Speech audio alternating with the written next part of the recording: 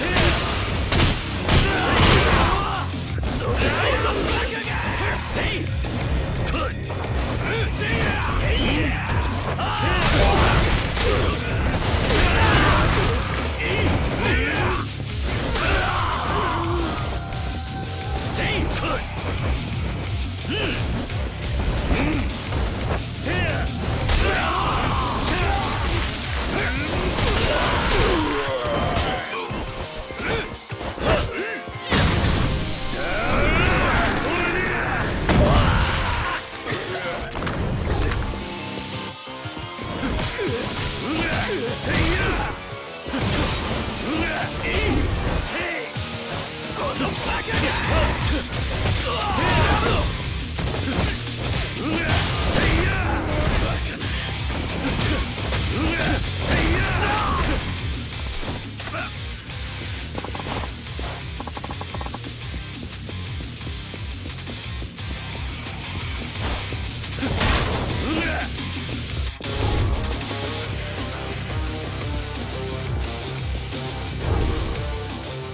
桐生さん。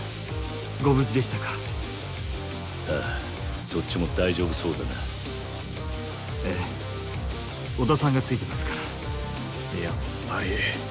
すんなり正面から返してはくれそうにないか。たくたった3人相手に全力でかかってきやがって。何を言ってるんです。初めからリスクを承知で飛び込んできたはずですよ。それは分かってますけどこれくらいの修羅場なら今までに何度も経験してきたじゃないですか。それに桐生さんもいるんです。決して勝てない戦いではありません。立花。そうでした。それじゃ一丁ビシッと言えりますか。新人に頼りっぱなしじゃ先輩の保険に関わる。よし。それじゃあそこの扉から外に出よええ。行きましょう。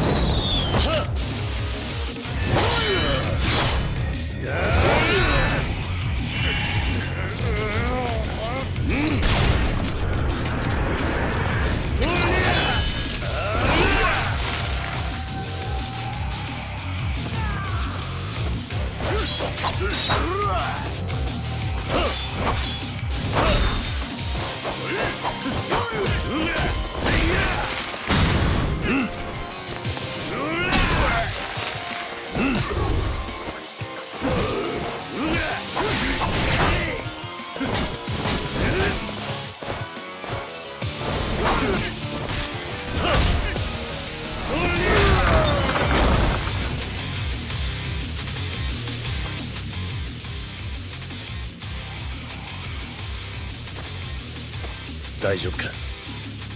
ええなんとか。それより先を急ぎましょう。出口はあっちだ。急ごう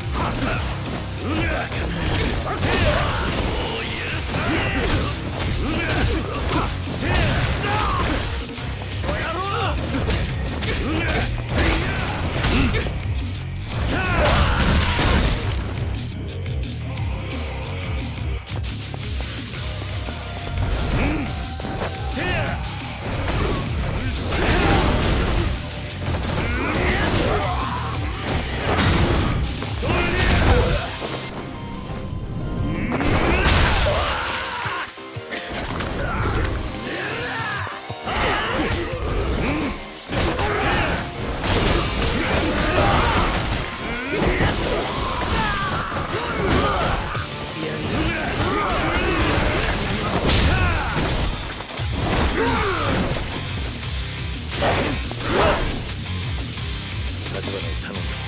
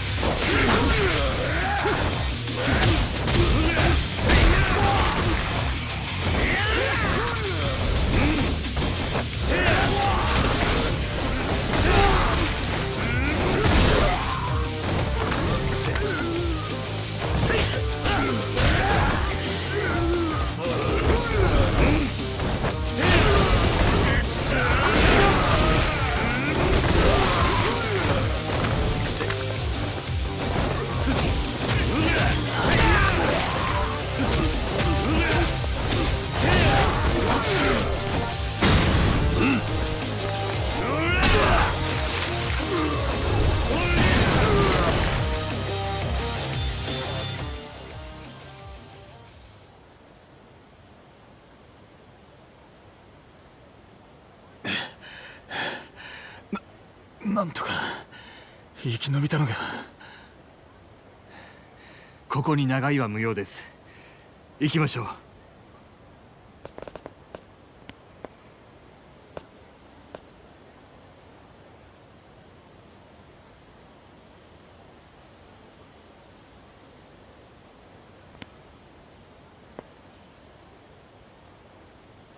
桐生一馬か。様が目をかけただけのことはある。あれもいつか化ける男なのかもしれねえな。